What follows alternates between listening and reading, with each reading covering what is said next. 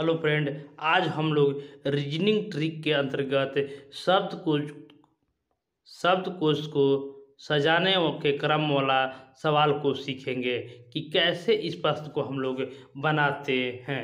तो कैसे आप लोग इस प्रश्न को जल्दी से जल्दी बनाइएगा, आइए सीख लीजिए। तो सबसे पहले यहाँ पर क्वेश्चन हम ध्यानपूर्वक देखेंगे कि शब्दकोश के अनुसार सजाने पर दूसरे स्थान पर कौन आएगा? यानी दूसरे स्थान जो आएगा, वही हमारा उत्तर हो जाएगा। तो देखिए, वहाँ पर वेब दिया है, वर्ष दिया है व्रेस दिया है व्रेंगलर दिया है और ब्रेक दिया है। तो इसको सजाना है। तो कैसे हम सजाएँगे? तो सबसे पहले पहला स्थान को हम धरेंगे। तो देखेंगे कि सबका जो पहला है, वो सबका पहला है, वो डब्लू है। तो इससे हमारा कोई अंक क्रमानुसार नहीं मिला। उसके बाद देखेंगे कि आर है आर है, इसमें भी आर है, इसमें भी आर है और इसमें आर है। तो इसमें भी हमको कोई नहीं मिला। अब हम देखेंगे, अब देखेंगे कि ए है ए है ए है ए है और ए है। तो हम तीन गो में देख रहे हैं। तीन में देख रहे हैं तो सभी में हमको W R A W R A W R A और डब्लू आर ए इसमें भी डब्लू आर ए तीनों में मिल गया, लेकिन हमारा क्रमानुसार नहीं मिला। तो चलिए, आइए अब हम आगे देखते हैं। तो यहाँ पर पी है, उसके बाद टी है, उसके बाद एस है, उसके बाद एन है, उसके बाद सी है।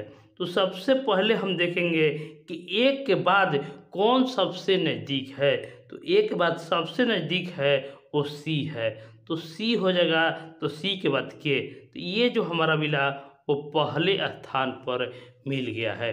पहले स्थान पर मिल गया। अब उसके बाद देखेंगे कि सी के बाद देखिए सी के बाद आता है ए के बाद एन तो यहाँ पर हमारा एन जो हो गया जी, एल, ई, आर, यही हमारा दूसरे स्थान पर हो जाएगा और यही हमारा उत्तर कह रहा है।